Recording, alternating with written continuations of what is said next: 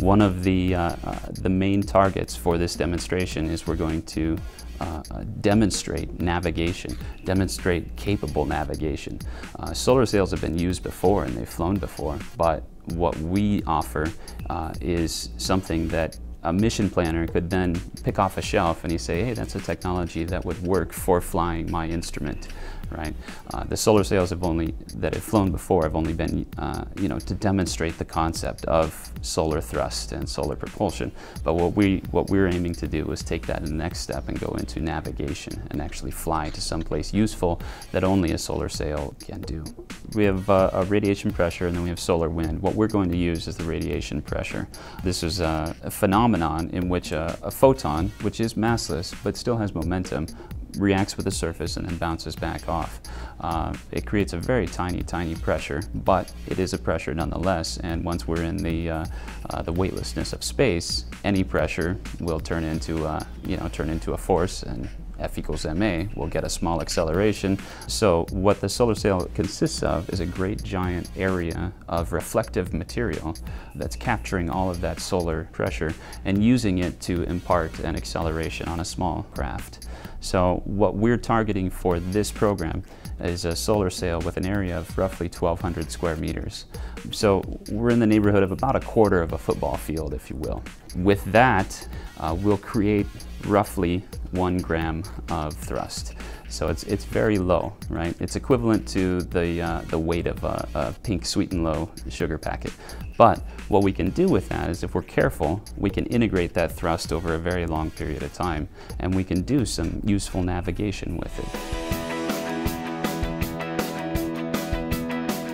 The solar flares from the sun obviously wreak havoc or can wreak havoc on the satellites and even the power grid on the Earth. So uh, what NOAA offers to operators and to the power grid operators is advanced warning through the means of this satellite that they have positioned at L1, which is a Lagrange point in between Earth and the Sun. Uh, they offer this advanced warning as a result of the data they get from the satellite called ACE. Uh, now that's at L1. Now what the solar sail could offer and this is one of the areas that we want to we want to fly to, uh, is that we could create a pseudo Lagrange point that's farther in towards the sun than L1. We'd actually double the distance from the Earth as ACE is. So if they have X minutes of warning time from ACE, we could double that and we could offer, uh, you know, offer satellite operators and power grid operators twice the warning time. Uh, the Lagrange point exists because um, uh, this Earth is pulling on it, the sun's pulling on it, and there's some, some uh, a centripetal force that's, you know, swinging out away from the sun too. So it's the, it's the amalgamation of those three forces that create that gravitationally neutral point. Now we're going to offset some of that sun's gravity with that one gram of, of, uh, of thrust and we can fly a little closer to the sun and create that extra neutral point there and we'll be a little farther in.